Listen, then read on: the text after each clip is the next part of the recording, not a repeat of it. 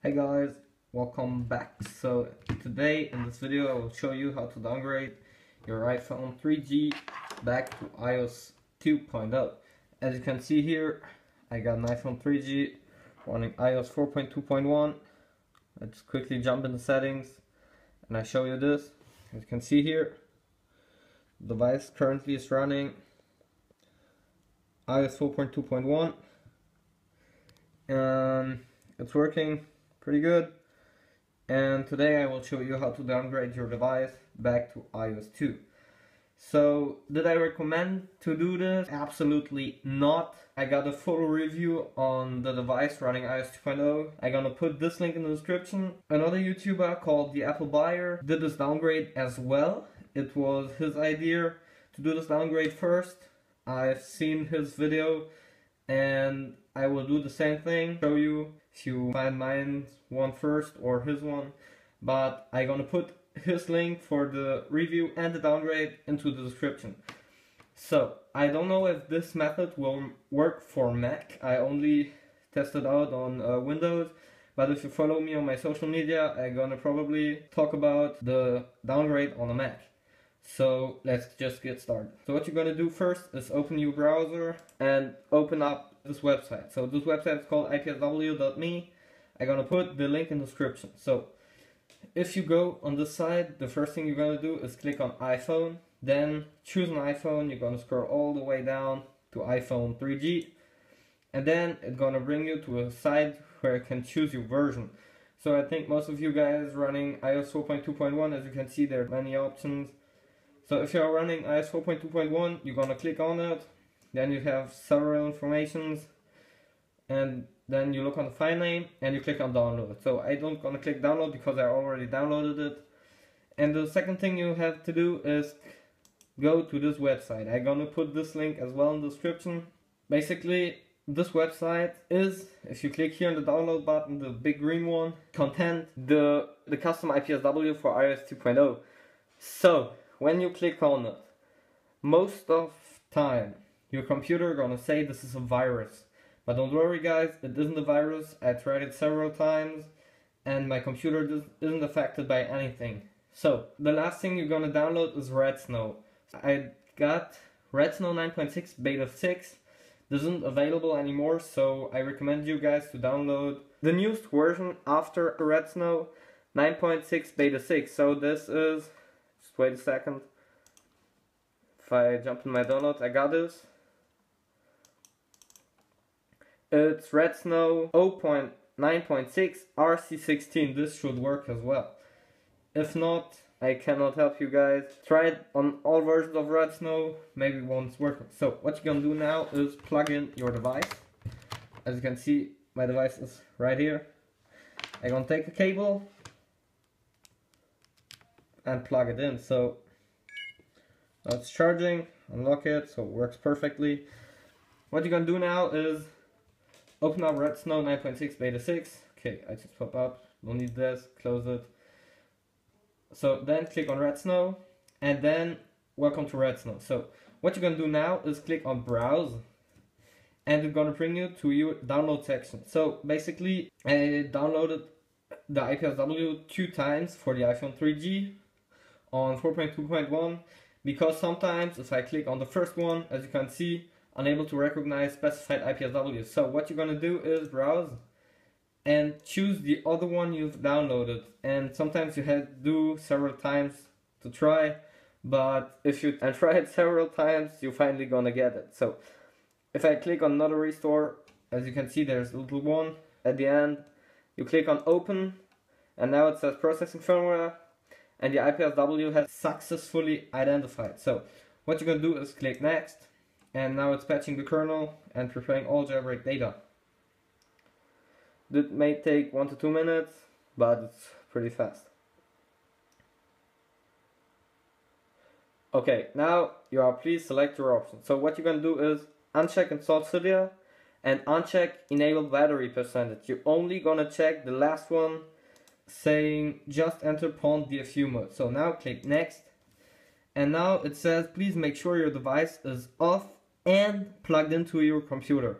So if it's not plug first the device in and turn it off. So what you're gonna do now is unlock the device, focus on the device right now, hold down the power button until you see that and then slide to power off. So the device should be off right now.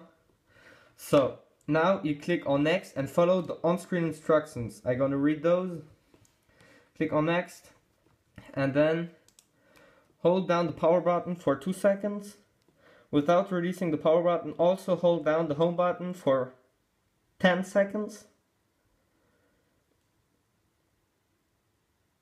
And then without releasing the home button release the power button and hold the home button for about 15 seconds. You can see that's what I'm doing right now. So, okay, now we're waiting for reboot. So now it's done. Just go back to Redsn0w, close the... Okay, iTunes says um, there was an iPhone detected on recovery mode, so you click OK. My computer, okay, no. So then you go back to Redsn0w and click on finish. Close this, go back to iTunes. Okay, don't recognize it, so you click X and go back into iTunes. So now it should recognize your device. Okay, there's the pop-up message. So iTunes has detected an iPhone in uh, recovery mode. You first need to restore the iPhone before you can use it with iTunes. So as you can see, the device is turned off. Just turn on the light. You can see it a bit better, I guess. Readjust the camera a bit. Focus. Okay, so as you can see the device had now a black screen. Don't show anything on the display. So make sure iTunes is recognizing the device. So as I said before, the iTunes has detected an iPhone recovery mode. You're just gonna click OK, and then you had several options. So the first one was eject iPhone. The second one is search for update, but this is grayed out, so you only can restore the iPhone. So what you're gonna do is press Shift on Windows, and at the same time you click, you left click on your mouse for restore iPhone.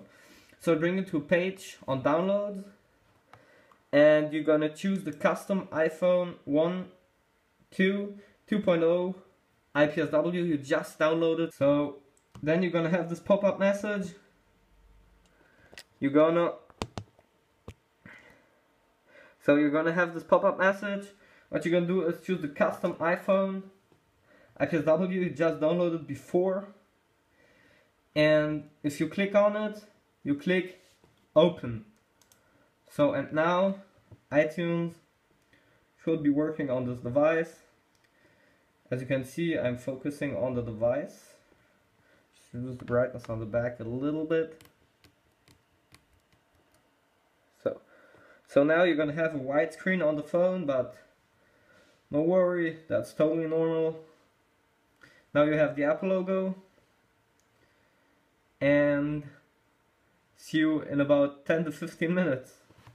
Okay, now your device, after about 2 minutes, should show up this the Apple logo, and the endless spinning wheel, as you can see there on the bottom. But no worry guys, now it should take 10 to 15 minutes to install iOS 2.0.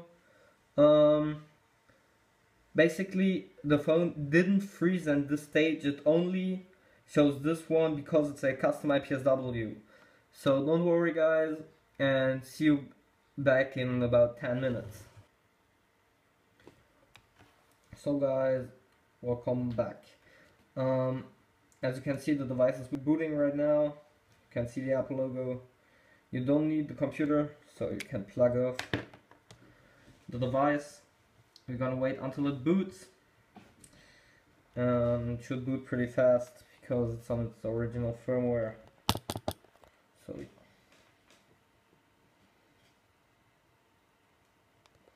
So as you can see the device is just booting right now. Okay. Um, as you can see the device is jailbroken and got an installer. So I to the other page as you can see.